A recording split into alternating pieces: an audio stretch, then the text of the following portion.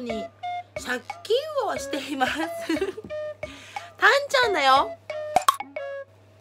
本日も皆様からいっぱい質問が来たから質問のコーナーをするよ。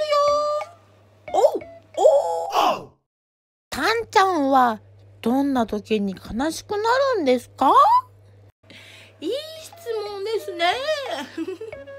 たんちゃん以前居酒屋でアルバイトしたんですけどその時にこんな顔の料理長に「あちょっとそこの芋にパセリを振っといて」って言われたんでたんちゃんあの一生懸命「オッケー!」って言って「うーってパセリを振ったんですでなんとか振り終えてこのパセリの穴を見てみたら穴から糸が出てたんであこれ糸ちょっと取ろうかなと思ってピッて引っ張ったらゴキブリの触覚だったの！